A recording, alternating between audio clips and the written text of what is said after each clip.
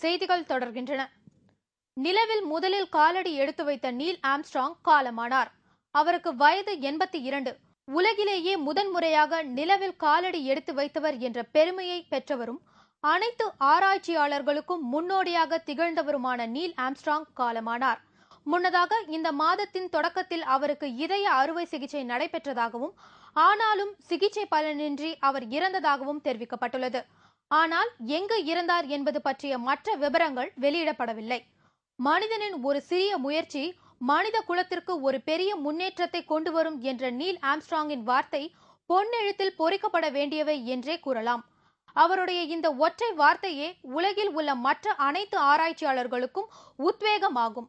கடந்த ஆயிரத்தி தொள்ளாயிரத்தி அறுபத்தி ஒன்பதாம் ஆண்டு ஜூலை இருபதாம் தேதி நிலவிற்கு பயணமான அப்பல்லோ பதினொன்று என்ற விண்கலத்தில் இருந்து துணிச்சலோடு நிலவில் இறங்கி நீல் ஆம்ஸ்ட்ராங் காலடி தடம் பதித்தார் என்பதும் அதன் பின்னர் அப்போலோ என்ற வார்த்தையும் பிரபலமாகி விட்டதும் என்பதும் தான் குறிப்பிடத்தக்கது.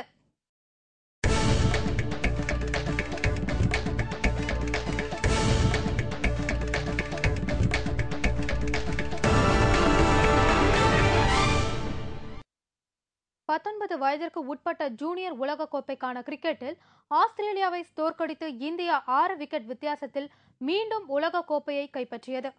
பத்தொன்பது வயதிற்கு உட்பட்டோர் உலகக்கோப்பையின் இறுதி ஆட்டம் ஆஸ்திரேலியாவின் டோனி அயர்லாந்து மைதானத்தில் நடைபெற்றது.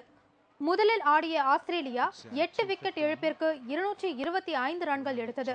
பின்னர் ஆடிய இந்திய அணியின் கேப்டன் சந்த் நூற்றி பதினோரு ரன்கள் குவித்ததன் மூலம் வெற்றி இலக்கை எளிதாக எட்டி ஆறு விக்கெட் வித்தியாசத்தில் மீண்டும் உலக கோப்பையை கைப்பற்றியது. ஜூனியர் உலக கோப்பையை இந்தியா மூன்றாவது முறை வெற்றி பெற்றுள்ளது குறிப்பிடத்தக்கது.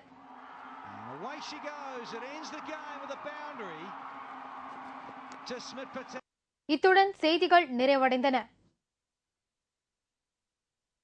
மீண்டும் தலைப்பு செய்திகள் மாலை ஆறு மணிக்கு. வணக்கம்.